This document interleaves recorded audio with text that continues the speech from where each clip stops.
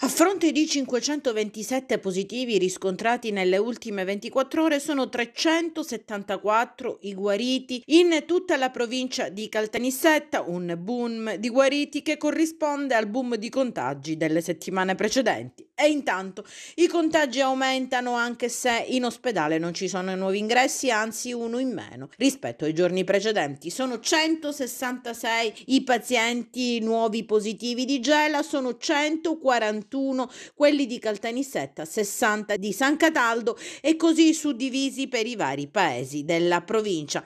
Ma nel dettaglio ciò che accade negli ospedali della provincia e anche in quarantena domiciliare. Sono 40 i ricoverati in ospedale in malattie infettive, non c'è nessun ricoverato in terapia intensiva. 1158 i positivi in quarantena domiciliare a Caltanissetta, 10 ricoverati.